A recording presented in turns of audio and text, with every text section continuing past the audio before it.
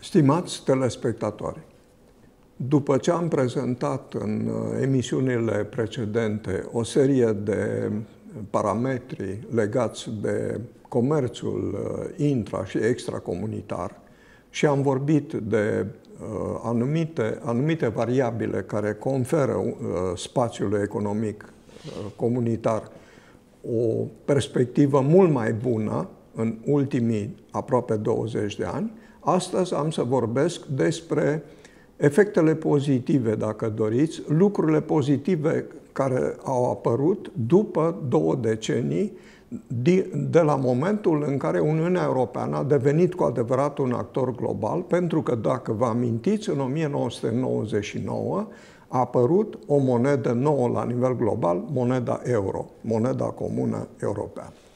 În acest interval de timp, au fost foarte multe probleme, fără îndoială, și s-a vorbit, din păcate, exclusiv de probleme, sau în marea majoritate comentariile și uh, analizele s-au referit la problemele Uniunii Europene, inclusiv la cele politice, și s-a accentuat mai puțin, și din partea unor analiști independenți, s-a accentuat mai puțin uh, s-au accentuat mai puțin rezultatele pozitive, obiectivele Uh, uh, scopurile fundamentale ale uh, Uniunii Europene.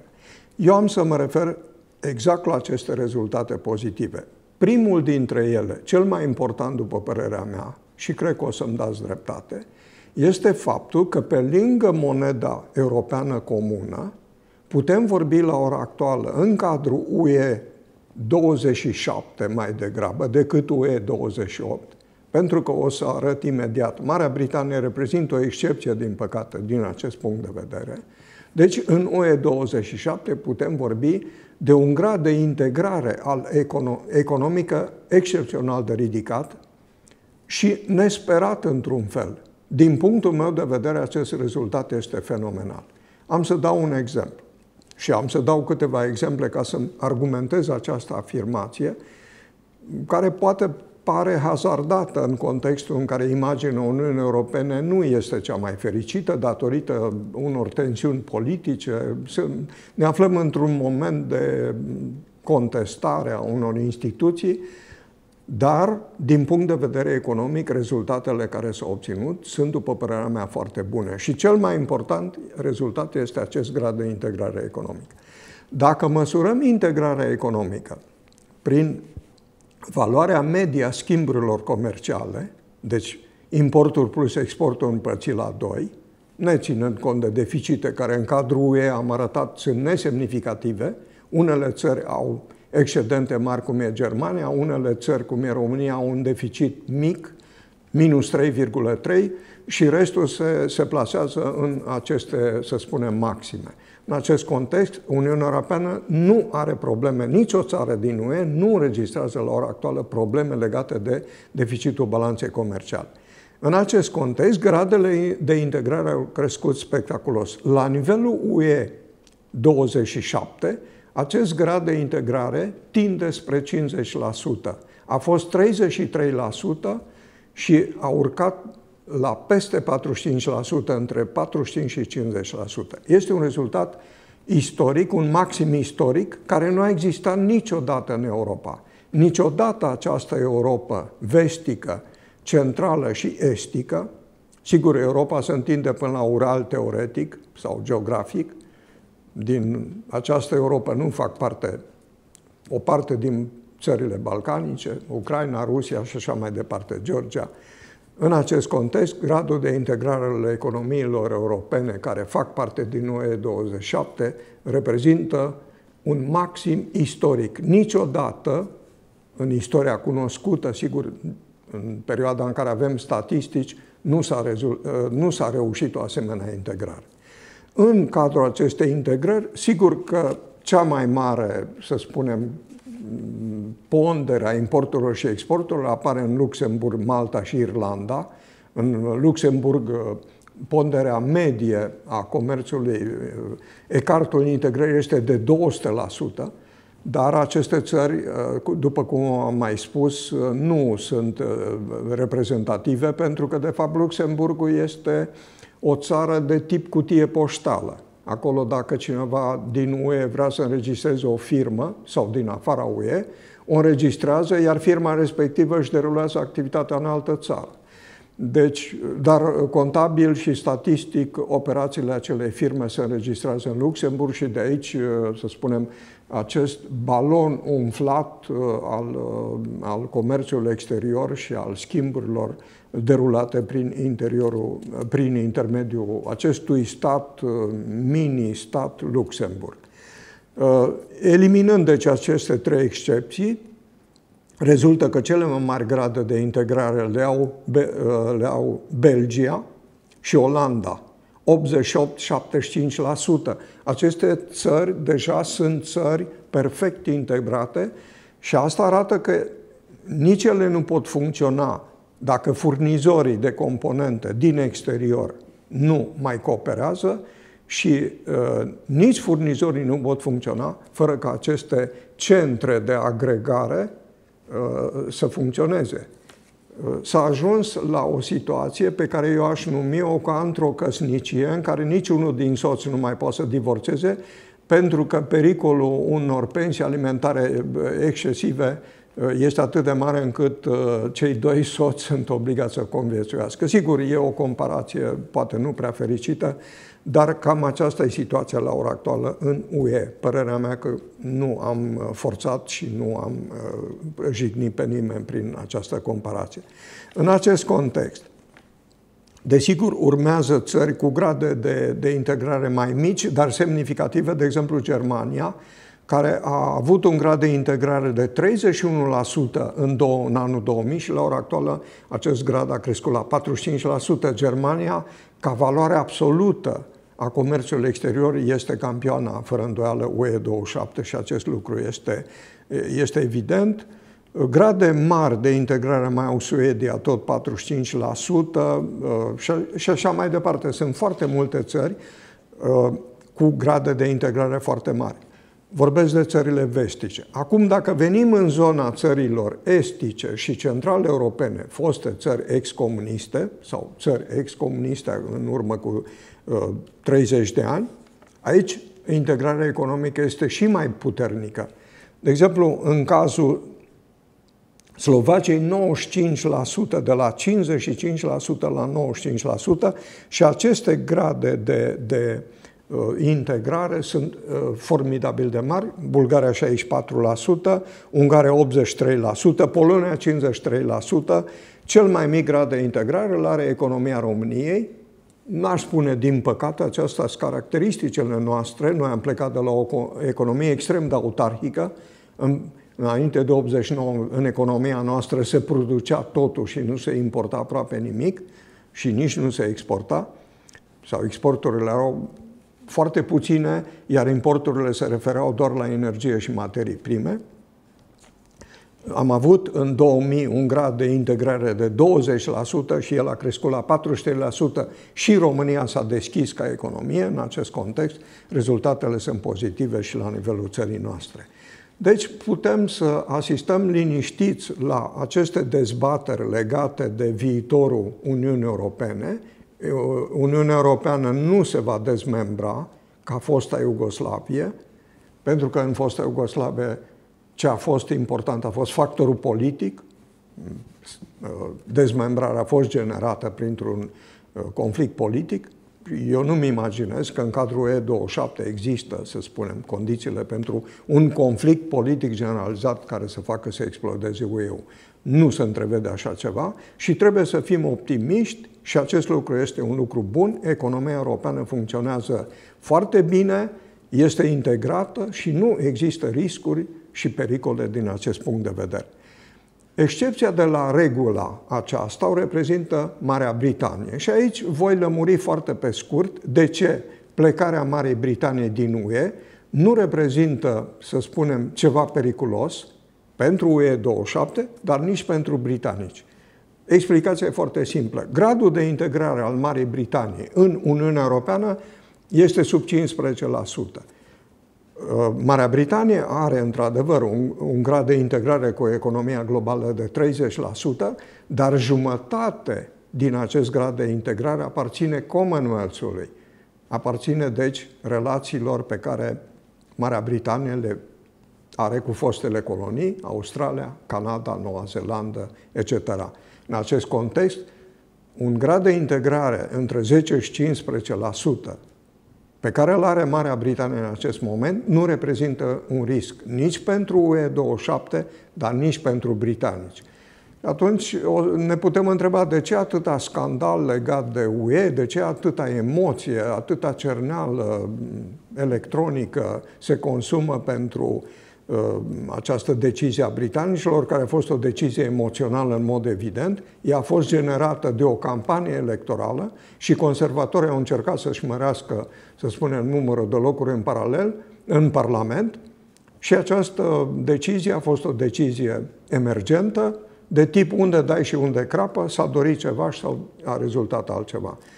De aceea putem să privim cu o anumită relaxare, părerea mea. Ar fi bine să fim mult, foarte relaxați atunci când, când privim la alegerea noului prim-ministru britanic, la ce scrie presa britanică, pentru că acestea țin de, de uh, comunicarea politică, de o campanie electorală și nu afectează cu nimic viitorul UE, în sens negativ, evident.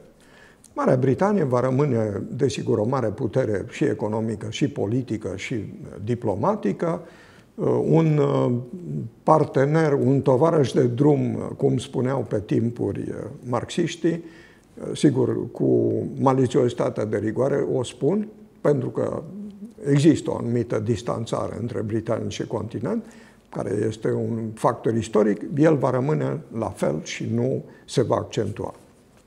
În ceea ce privește rezultatele pozitive obținute în Uniunea Europeană, obiectivele care au fost realizate, Cred că cel mai important obiectiv, fără să mai vorbesc de produsul intern brut per capita, care este un indicator extrem de sofisticat, el reflectă consum, investiții și exporturi, am să mă refer la un indicator, la un parametru ușor de perceput de oricine, chiar dacă nu citește tratate de economie. Mă refer la consumul per capita, deci cât consumă fiecare individ din țările Uniunii Europene și acest consum se referă evident la bunurile și la serviciile uzuale.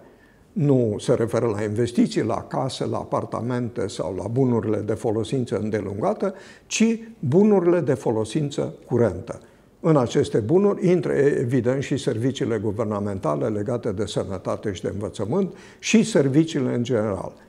În acest clasament s-au produs mutații, în sensul că dispersia în anul 2000 era enormă.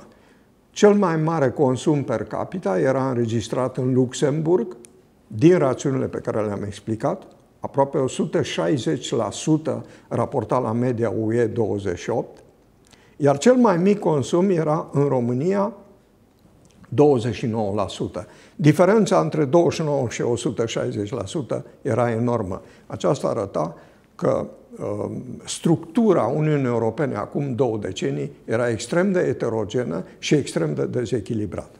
La ora actuală, consumul Luxemburgului a scăzut la 130%, cel mai mare din UE, dar și Germania au un consum foarte mare, 121%. Acestea sunt campioanele în privința consumului. Iar în cadrul UE 28, cel mai mic consum la ora actuală îl înregistrează Bulgaria 56%. Deci 56 raportat la 132 reprezintă mai puțin de 1 la 3, iar acum două decenii raportul era de 1 la 5 sau 1 la 6. Deci această înjumătățire a dispersiei arată de fapt că Uniunea Europeană Uh, s-a înscris pe o traiectorie pozitivă, o traiectorie echilibrată, o traiectorie în care se reduc discrepanțele și apare un proces de convergență reală, ceea ce este un lucru foarte, foarte bun. O spun asta în termen obiectiv, nu vreau să laud nicio comisie europeană, nu știu ce contribuții au avut comisiile europene conduse de domnul Barroso sau de ceilalți. Aceasta e o, e o temă de campanie electorală. Realitatea economică uh, reflectă un fapt pozitiv.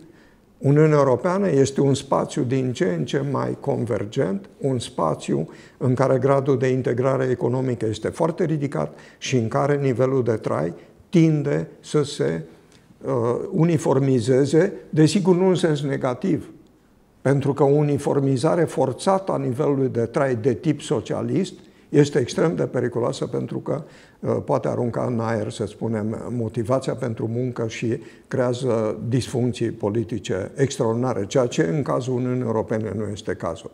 Acum, în acest context, apare uh, un caz uh, foarte pozitiv pe care uh, mulți dintre compatrioți evită să-l abordeze și există o propagandă negativă în legătură cu România. Uh, foarte mulți compatrioți au impresia și spun în permanență România este cea mai săracă țară din UE. Aceasta este o percepție absolut falsă, oricum am privit lucrurile. Desigur, România, dacă judecăm lucrurile după statistici, a fost cea mai săracă din UE 28, după cum am spus, în anul 2000,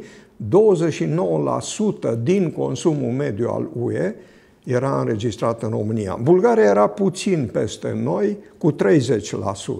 Deci Bulgaria și România se distanțau foarte, foarte mult celelalte țări, Ungaria 54%, Croația 50%, Letonia 37%, Lituania 43% și așa mai departe. Deci Bulgaria și România erau, reprezentau lanterna roșie chiar în, în UE și în rândul celor 11 țări ex-socialiste. Care este situația în 2018?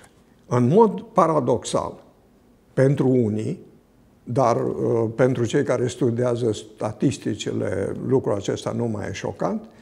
Consumul per capita a crescut în România în ultimii 18 ani, de la 29% din media europeană la 70%. Este cel mai mare nivel al consumului din istoria modernă a României. Nu putem ști ce a fost în evul mediu, dar după 1859, când au apărut Principatele Unite, și după 1918, când România uh, s-a configurat ca un stat național al tuturor românilor, acest indicator de prosperitate este cel mai ridicat în anul trecut și în acest an va registra din nou un progres. Deci, afirmația că România este cea mai săracă țară din Europa este absolut în afara realității. Ea este folosită în campanii electorale, sunt foarte multe frustrări în anumite situații. Poate mm, unii spun la supărare aceste lucruri în România sau în afara României. Dar să știți că este o informație complet neadevărată și nu trebuie să uh, perpetuăm asemenea informații. Pe de altă parte, în acest context, și este un context fericit, Vreau să arăt că, de exemplu, Bulgaria are un consum de 56%, mult mai mic decât 70%, deși se plasa în fața României în urmă cu 18 ani. Surpriză, Bulgaria, uh, Ungaria 64%, 70 România, 64 Ungaria. În Ungaria, deci, nivelul de trai este semni, puțin mai mic, pentru că 64-70 în statistică aceasta nu reprezintă foarte mult, Croația 63, Letonia, Lituania 70. Deci România nu mai este pe poziția lanternei roșii, a cedat această poziție Bulgariei și se plasează într-o zonă medie a clasamentului, vorbesc de, de UE 11, cele, cele 11 țări excomuniste. Sigur, la nivelul Uniunii Europene nu ne plasăm la mijlocul clasamentului, nici vorba de așa ceva, dar este un progres semnificativ. Și o ultimă idee, șocantă, recunosc, și pentru mine, nu mă ascund, nivelul general al prețurilor, nivelul mediu al prețurilor la produsele alimentare este cel mai mic în acest moment în România, raportat la UE28 și la Balcani. În Balcani, incluzând uh, Serbia, Turcia, uh, Muntenegru și Albania. În acest context, nivelul mediu al prețurilor la produsele alimentare și băuturi nealcoolice exclude alcoolul, pentru că acolo nu suntem pe ultimul loc la nivelul prețurilor. Acest nivel este de 66% din media europeană. În 2000, în cazul României, acest nivel al prețurilor în România era 33%. Deci, sigur, prețurile produselor alimentare s-au dublat în România, aproape s-au dublat, dar gândiți-vă că în acest moment, în Ungaria, nivelul prețurilor produselor alimentare reprezintă 84% din media europeană, în Croația 97%, în Slovenia 97%, în Slovacia 94%, în Estonia 95%, în Letonia 93% și în Lituania 81%. În toate aceste țări, prețurile sunt aproape egale cu media europeană, iar nivelul consumului este semnificativ mai mic decât media europeană. În cazul României, acest nivel al consumului foarte mare raportat la PIB-ul per capita poate fi explicat prin acest nivel scăzut al prețurilor la produsele alimentare. Desigur, v-aș ruga să luați această afirmație a mea ca o afirmație obiectivă, bazată pe date statistice și nu o informație subiectivă, pentru că în Occident se practică foarte multe discounturi, poți trăi și în Germania cu aceste discounturi și poți obține în Germania prețuri mai mici decât în România. Dar statistica nu operează cu discounturi, ci cu prețuri medii și mai ales cu prețuri de strictă necesitate. Nu cu produse de lux, nu cu baruri de fițe și așa mai departe, acest nivel mediu al consumului este un nivel calculat obiectiv în funcție de nevoile de bază ale noastre. Sunt informații pozitive, mă bucur că am reușit să ofer această imagine pozitivă a Uniunii Europene într-un moment în care discuțiile sunt extrem de tensionate. Vă mulțumesc pentru atenție.